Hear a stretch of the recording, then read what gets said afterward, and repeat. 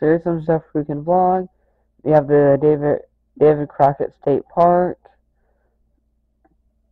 We can go next. Uh, this TARDIS, not that, but a porta potty that looks like the TARDIS, and a uh, waterfall, and some animal thing. Well, this is end of this daily vlog. Goodbye, and I'll see you tomorrow.